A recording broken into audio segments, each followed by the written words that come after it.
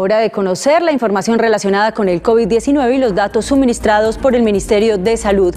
Para este miércoles sube la cifra, 11.953 casos nuevos se han registrado para el día de hoy, 204 fallecimientos.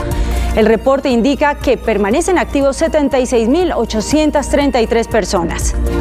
El acumulado hasta el momento a nivel nacional es de 1.456.599 y el acumulado de muertes 39.560. Veamos lo que sucede para el día de hoy en el departamento de Antioquia. Contagios 1.821, muertes 26. Los casos positivos acumulados para el departamento 234.925 y muertes 4.390.